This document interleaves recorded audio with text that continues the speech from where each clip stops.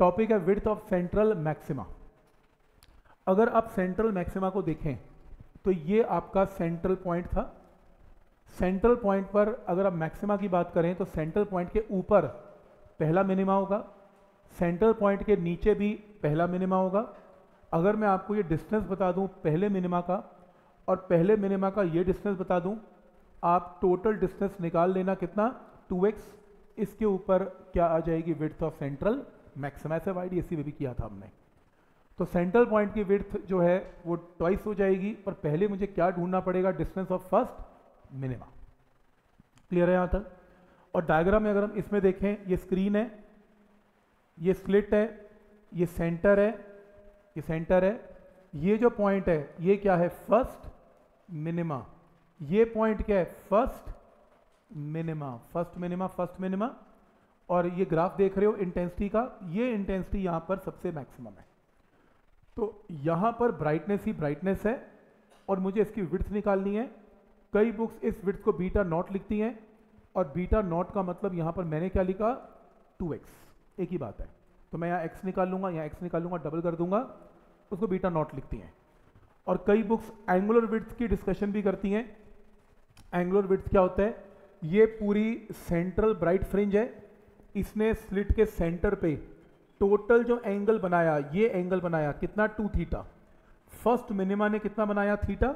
नीचे के मिनिमा ने भी कितना बनाया? थीटा। तो पूरी जो सेंट्रल ब्राइट फ्रिंज है, उसने टोटल एंगल क्या बनाया? Two theta. लेकिन टू थीटा को क्या बोलते हैं? Angular width. ये एंगुलर विड्थ है। तो क्या ये पॉइंट क्लियर है? तो सेंट्रल ब्राइट फ्रिंज की एंगुलर विड्थ टू थीटा है। और नॉर्मल विड्थ क्या है? इसमें टू एक्स है। तो मैं इसमें क्या निकालना चाहता हूँ? मैं इसमें विड्थ ऑफ़ सेंट्रल मैक्सिमा निकालना चाहता हूँ, यानी कि 2x उसने एंगुलर विड्थ नहीं बोला, उसने सिर्फ़ विड्थ बोला तो 2x अब पहले मुझे x निकालना पड़ेगा फ़र्स्ट मिनिमा की दूरी। अब मिनिमा की कंडीशन बोलो। मिनिमा की कंडीशन क्या होती है? ए साइन थीटा क्या होता है? वन लैमडा क्योंकि फ़र्स्ट मिनिमा की बात हो रही है तो एन की जगह वन क्योंकि अभी मैंने आपको दो फॉर्मुला लिखवाए थे और मिनिमा का फॉर्मुला क्या लिखवाया? A sine theta is equal to n lambda में n is equal to one तो a sine theta one lambda condition for minima हम फ़र्स्ट मिनिमा की पोजीशन ढूंढ रहे हैं। यहाँ से साइन थीटा क्या आ गया? लैमडा बाई ये पॉइंट क्लियर है? साइन थीटा की वैल्यू कितनी है इसमें? लैमडा बाई ए ग्राफ में या यहीं पे वापस चलो। स्लिट और स्क्रीन के बीच में दूरी क्या होती है? कैपिटल डी और ये डिस्टेंस कितना है? एक्स ये एंगल कितना है? थीटा तो टेन थीटा की वैल्यू मैं क्या लिख सकता हूँ?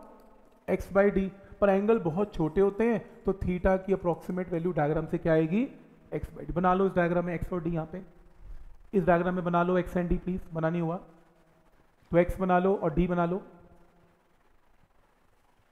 ठीक है यहाँ तक? तो सारे डिस्टेंसेस हम सेंटर पॉइंट से लेते हैं, और सेंटर से ये हाइट एक्स है, और डिस्टेंस इसमें कैपिटल डी है। तो देखो मैं ये ढूंढना चाहता हूँ, ये फ़र्स्ट मिनिमा कहाँ पर है?